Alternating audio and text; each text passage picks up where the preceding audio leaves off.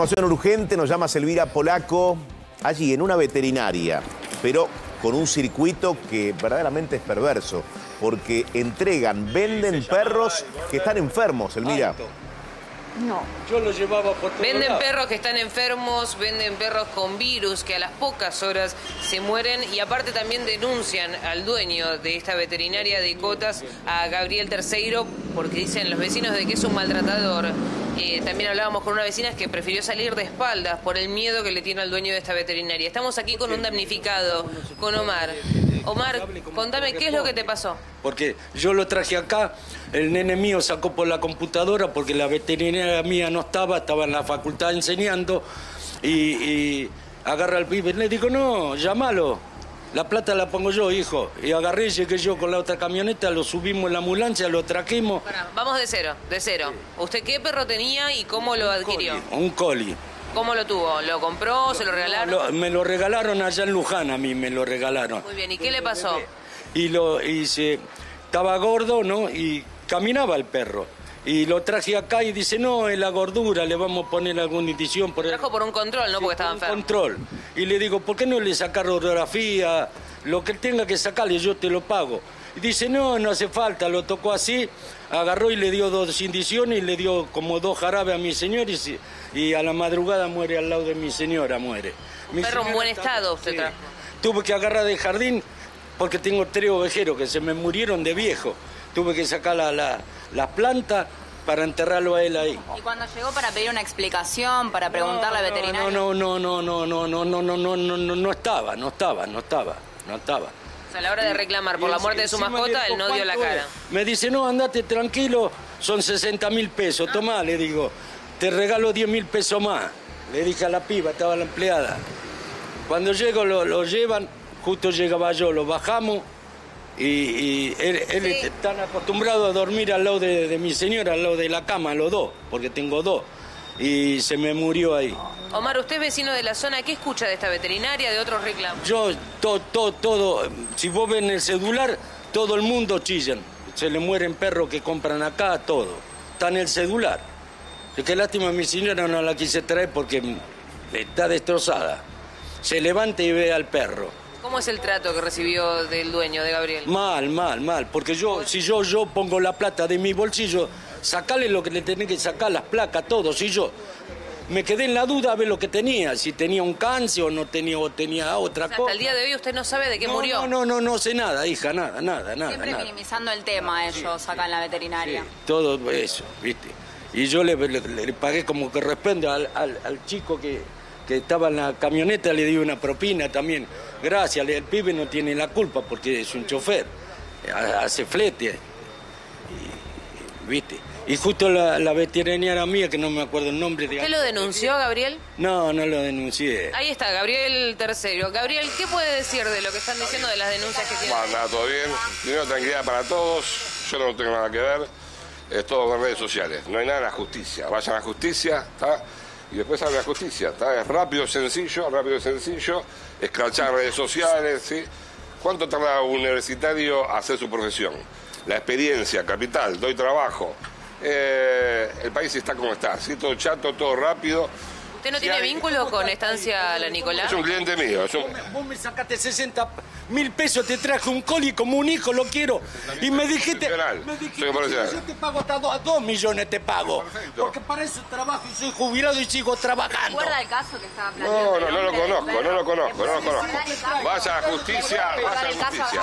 Pero acá hacer show, show barato, show barato no. La ambulancia Ay, y lo cargaron. Un saludo a mis pacientes La clientes. ambulancia y lo cargaste y le diste dos inyecciones. Gabriel, ¿qué puede- ¿no le llegan casos de criadero? Lo respeto como profesional. Eh, habla con mi abogado. Vos hablaste con Leonardo, habla con mi abogado. Ese vino a buscar a mi perro. Su abogado lo que nos dice es que usted no es socio de esos criaderos. Permiso. Pero que sí Respeto, respeto tu profesión, respeta mi intimidad. Respeto a la profesión, respeta mi intimidad. ese muy amable. Gracias, muy amable. Usted trabaja con ese criadero, no es socio. Son clientes míos. Porque a donde te encuentres en la calle la vas a ver conmigo, vos. Asesino, asesino, asesino. Me, me mataste mi perro, asesino. Y, te lo digo, ¿eh? Todos los días voy a venir acá cuando no trabajo, hacerte quilombo en la puerta para que no te venga nadie de San Martín. Asesino.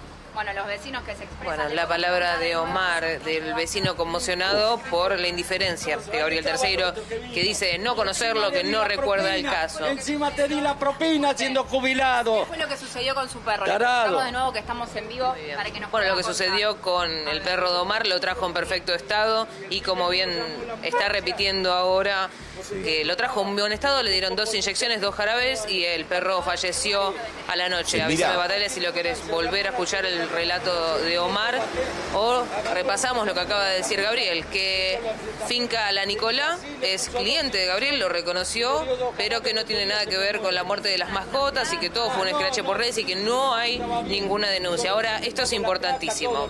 Si vos fuiste víctima de Finca La Nicolá, si fuiste víctima de Gabriel III, es importante de que esto lo lleves a la justicia.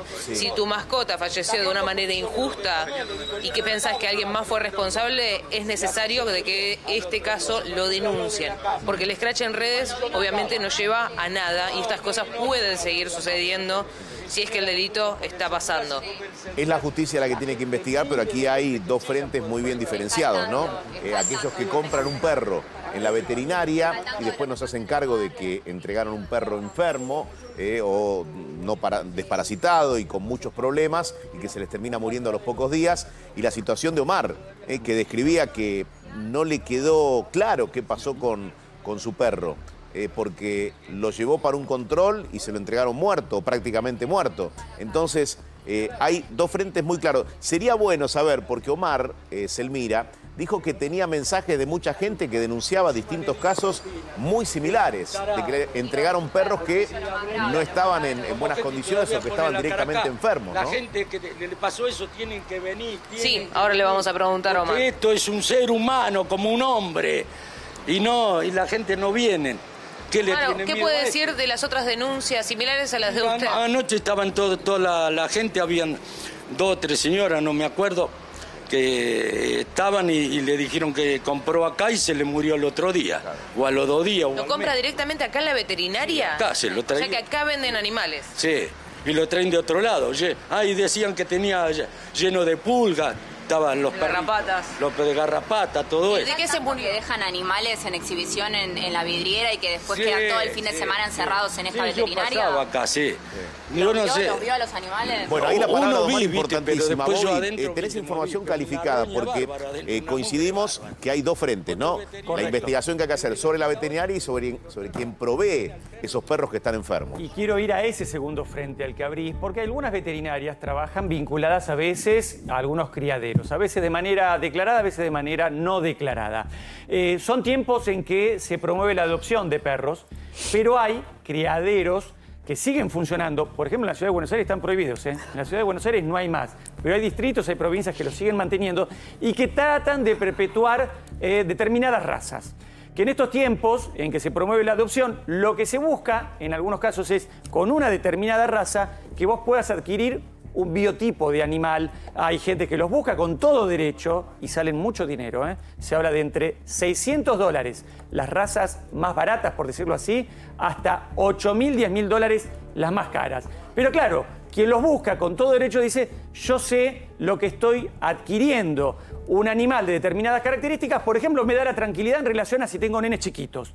Bueno, ahí hay un universo que en el cual queremos hacer prevención, porque hay denuncias sobre también esa vinculación de esta veterinaria donde estamos trabajando con Selmira ahora. Lo que vos tenés que hacer es buscar aquellas que estén asociadas a la Federación Sinológica, porque hay algunas que laburan truchas y eh, recién lo decía, eh, eh, ahí en el, en el móvil, no te dejan ver los animales, vos te contactás, te lo ofrecen, te mandan una foto, me tenés que pagar, me tenés que hacer una reserva y recién cuando me mandás la transferencia y venís a retirarlo, recién ahí te muestro y quizás es algo parecido a aquello que creíste que estabas adquiriendo. Entonces, tenés que tener en cuenta que estén vinculadas a la Federación Sinológica Argentina. Y después el punto de vista emocional eh, y humano, ¿no? Vos cuando adoptás un perro, eh, cuando compran algunos perros, eh, bueno, el, el tema pasa a ser un integrante más de la familia y ahí está el dolor de quienes denuncian y dicen, eh, me entregaste un, un perro que estaba enfermo sin habérmelo advertido y terminan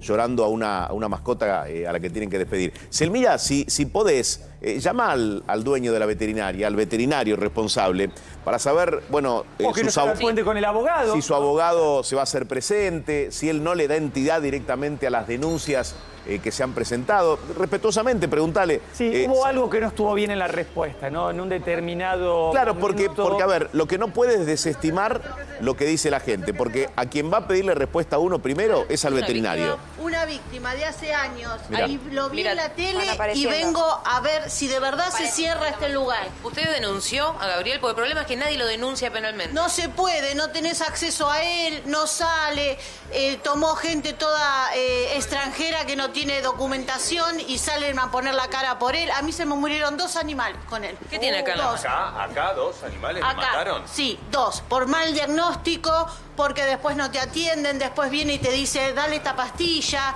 eh, venía a los 15 días y así te va sacando plata, te entretiene, no sé. Y hasta cuando yo lo increpé a él en el segundo animal, que ya yo veía que no avanzaba, que estaba cada vez peor, trayéndolo acá, acá lo traje a bañar a mis dos perros. Ese sector lo tapa, cada tanto le da una limpiadita, lo pinta, pero debe ser un foco de infección porque este, hay momentos que tiene baño, hay momentos que no tiene baño, hay momentos que tiene personal para peluquería, momentos que no tiene. Bueno, entonces este señor hasta se atrevió a decirme a mí que yo era una mediocre por haberle increpado maltrató. a él. Claro, me maltrató a mí. Encima que ya maltrata a los animales, tenía acá, no sé, ahora no lo tiene más, lo sacó. Vendía tortugas bebé, vendía bien. los topitos rusos, vendía un montón de animalitos. ¿Vendía que no- perros acá? Sí, vendía perros. ¿Tenía enjaulado? Son especies estaban prohibidas acá. algunas, ¿eh? Muchos perros. ¿Los vio exhibidos en la vidriera? Sí, por supuesto. Sí, Estaban sí, todo sí. el fin de semana. Algunos vecinos dicen Todo que el estaban fin de semana y no sé si no tiene un fondo o una terraza que los tira ahí. Y ya cuando los perros van creciendo, que la gente no los compra porque dejan de ser bebés, él los abandona ahí a la buena de Dios. Ahora, recién nos contaba una vecina que para bañar los perros a veces los sedaba o los ataban. ¿Usted vio eso? ¿Le ha pasado? Mirá, yo no lo vi, pero yo lo traía a mi perro, a mis perros, porque tengo cuatro, me quedaron dos. Obviamente los otros no los traje más. Eh, yo los traía de una manera y cuando los venía a buscar estaban de otra. Me decía, no, ¿De qué manera está? O sea, yo los traía bien, vengo caminando, estoy a cinco cuadras de acá.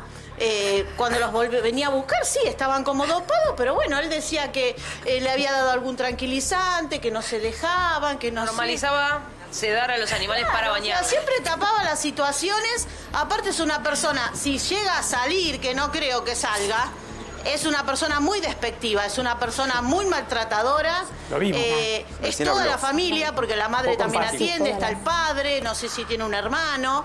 Eh, bueno, así que nada, me alegro de que haya llegado la televisión. Igualmente lo que pasó con sus animales. Con mis alim- Y bueno, no sé, yo creo que mal diagnosticado. Yo los traje ¿Por qué los trajiste? En principio los traje porque tenían una infección en, en las patitas. Eh, bueno, eso ¿Son después... de raza? No, no, no, pero son, son mis animalitos y bueno, yo, yo los quiero. Este, y pensé que esto era lo mejor, ¿entendés? Tuve otra más allá que cerraron y bueno, empecé a venir acá por la cercanía también. Eh, diagnóstico le dio? N- Nunca nada, nunca nada. Que honguitos, que no sé, que cefalexina, que esto, que el otro, que tapando cuadros y bueno, y uno que no sabe y que cree que lo trae un profesional. Entonces, bueno, nada, ahora eh, y hemos venido a reclamar, hemos venido, nos ¿Tienen salen, explicaciones que responde? verás cómo está acá, hay una chicharra que cuando quiere te abre de acá, pero acá no te abre. ¿eh? Entonces, nada. ¿Dónde tenía los perros exhibidos? Acá, donde están las sillas ahora. Todo ese largo. Todo ese largo. Acá tiene una pecera, no sé si está, con peces o no, grandes. Y bueno, todo acá, todo acá adelante. Todo acá adelante. ¿Hace cuánto que fallecieron sus animales? ¿De qué manera? Eh, y el último, el 2019. Eh, aclaremos también que vino la pandemia. Bueno, con pandemia mediante, este señor también tenía un sistema para atender, eh, bueno, que a como es él le venía bárbaro. ¿Cuál era el sistema? Y eh, déjame el perro, vos quedate afuera, vení dentro de tanto, vos no podías estar ni siquiera en la sala de espera. Eh, Entonces, bueno, sí, los doparía, eh, no qué sé yo. ¿Vio gente que se acerque para reclamar por lo que pasaba con Sí, su pero no te, no te abren, no te abren. Y la gente que viene a comprar un perrito para regalar y en el transcurso el perrito se murió o le pasó algo, imagínate que uno se queda tan mal de que tu mascota falleció, eh, que te, te va pasando el Parte tiempo. del trato del veterinario. ¿Usted piensa que los vecinos le tienen miedo, Gabriel? No sé si le tienen miedo porque esta propiedad estaba en venta, no sé si es todo el lote. ¿Y conoce ya a vecinos que hayan denunciado que le entregaron animales enfermos? abre.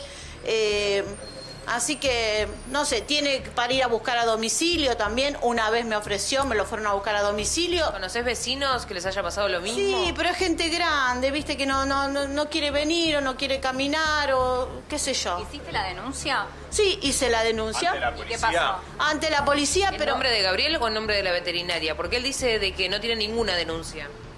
Chicos, fíjense en el Facebook también Que ahora. Facebook no son denuncias. Claro, en la comisaría bueno. usted fue hizo la denuncia en nombre sí, de Gabriel. sí, sí, sí, y a nombre de, y a nombre de la ¿En veterinaria. qué situación está la denuncia?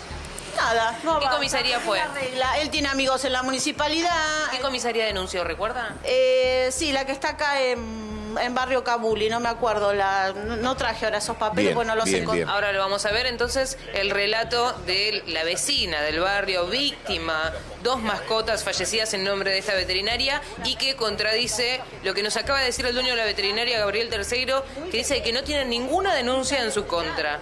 Esta mujer acaba de decir de que fue a la comisaría y que penalmente lo denunció. En minutos lo vamos a verificar y vamos a continuar con este tema. Cada vez más vecinos se están acercando a exponer su caso de los perros que se le han muerto en su casa y todo en nombre de esta veterinaria y todo en nombre de Gabriel Terceiro.